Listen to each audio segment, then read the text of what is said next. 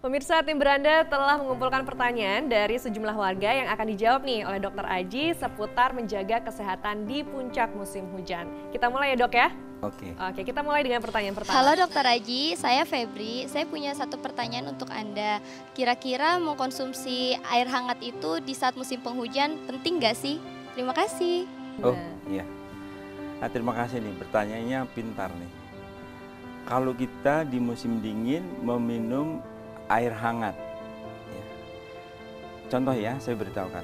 Misalnya kita memin dalam keadaan biasa kita meminum air hangat atau setengah panas ya, Mhm. langsung kita berkeringat. Berkeringat apa? Artinya tubuh menyesuaikan dengan masuknya air tersebut. Nah, jadi kalau suasananya memang dingin, minum air hangat itu bagus.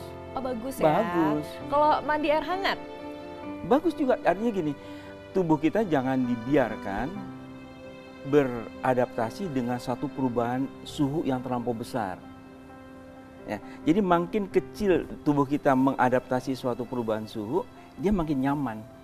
Buat kita. Oh, Oke, jadi aman-aman aja nih ya, Iya, mau aman. minum atau mandi air hangat Malah di musim bagus hujan sebetulnya, ini. Oh, begitu. Hmm. justru bagus. Oke, kita lanjutkan ya ke pertanyaan berikutnya. Halo Dokter Aji, saya Dimas. Saya ingin bertanya, jika bermain eh, olahraga saat hujan-hujanan, apakah itu sehat atau tidak sehat? Ya, ini pertanyaan dari Dimas. Soalnya seru dong Ini- kalau ini yang- kita main yang- bola di tengah hujan. Oke Mas Dimas, pertanyaannya pintar ya Mas Dimas nih. Bertanya kepada saya, lagi hujan berolahraga. Iya.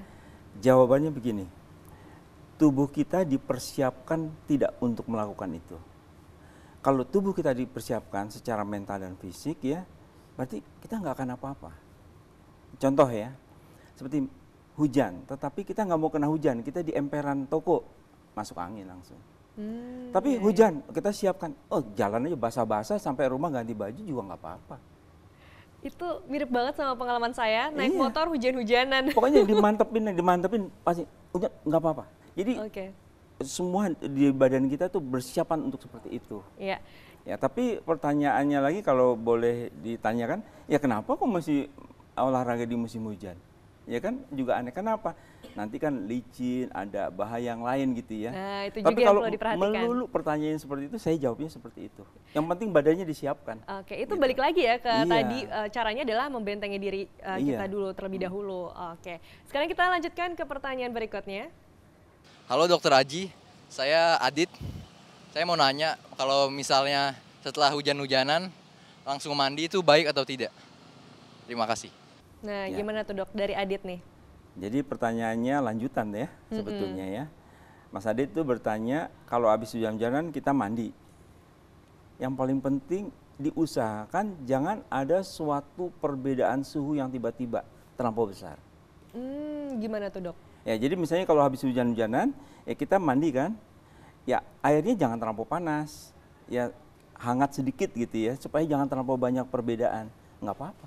Baik, soalnya Iya. ada mitos juga yang bilang bahwa kalau misalnya kita hujan-hujanan nih, Hmm. eh, rambutnya kena air hujan, terus kalau nggak segera mandi nanti sakit kepala gitu katanya.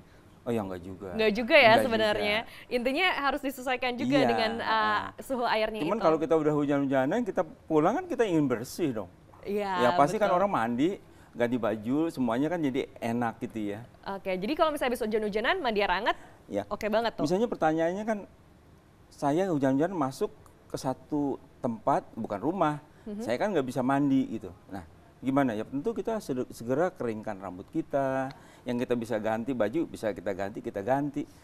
Nah, kalau kita diem aja baju kita basah, nggak ada aktivitas, kemudian pembuluh-pembuluh darah kita mencuit, nah kita masuk angin di situ. Ah, oke Situ baik. kan letaknya. Siap. Dan itu juga untuk menjaga kebersihan juga ya Iya dok ya. dong. Harus segera ganti baju dan mandi. Oke, sekarang eh, pertanyaan berikutnya. Halo Dokter Aji, saya Raga. Saya mau tanya nih eh, di musim penghujan ini kan banyak sekali eh, macam penyakit nih. Eh, perlu nggak sih mengkonsumsi vitamin? Terima kasih. Oke, itu dari Raga. Gimana tuh dok? Ya, kalau ditanya boleh nggak vitamin? Ya boleh pasti. Tapi kalau saya menganjurkan makan aja yang bagus. Makan tuh yang bagus itu kan ada nasinya, ada lauknya, sayur mayur, buah-buahan. Itu kan sumber vitaminnya juga ada di situ. Hmm, Iya kan? Betul sekali. Nah, kemudian kegiatan kita, istilah kita yang cukup. mau ditambah vitamin ya lebih bagus. Tetapi apakah harus? Jawabannya tentu tidak. Oke. Tapi bagus nggak? Tanya bagus nggak kita minum? Bagus aja. Tapi untuk satu keharusan yang enggak. Karena dari sayuran maupun buah-buahan Iya. itu udah alami sebenarnya ya kandungan Saya lebih senang menganjurkan sesuatu yang alami. Baik, oke Dokter Aji, kita akan lanjutkan lagi perbincangan ini, Baik, tapi eh. usai jeda berikut saksikan sesaat lagi.